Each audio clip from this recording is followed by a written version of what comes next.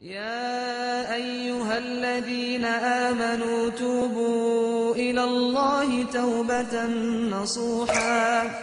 عسى ربكم أن يكفر عنكم سيئاتكم ويدخلكم جنات. هل يقبل الله العبادة والتوبة من الذليل؟ وكيف ينظر الله إليه في الدنيا والآخرة؟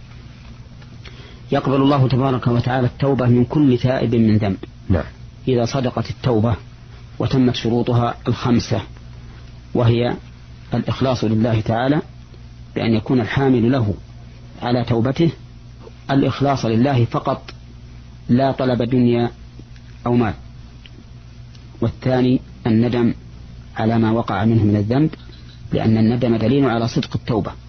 والثالث الإقلاع عن الذنب في الحال ومنه أداء الحقوق إلى ذوي الحقوق إذا كانت الحقوق للآدميين. والشرط الرابع أن يعزم على أن لا يعود في المستقبل.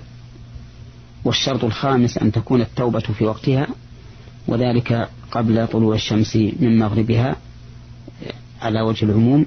نعم. وقبل أن يحضر أجل الإنسان على وجه الخصوص.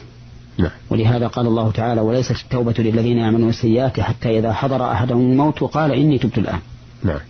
فإذا تمت هذه الشروط في التوبة فإن الله تعالى يقبلها مهما عظم الذنب لقوله تعالى قل يا عبادي الذين أسرفوا على أنفسهم لا تقنطوا من رحمة الله إن الله يغفر الذنوب جميعا إنه هو الغفور الرحيم.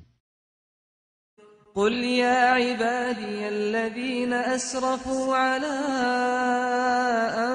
أنفسهم لا تقنطوا من رحمة الله إن الله يغفر الذنوب جميعا إنه هو الغفور الرحيم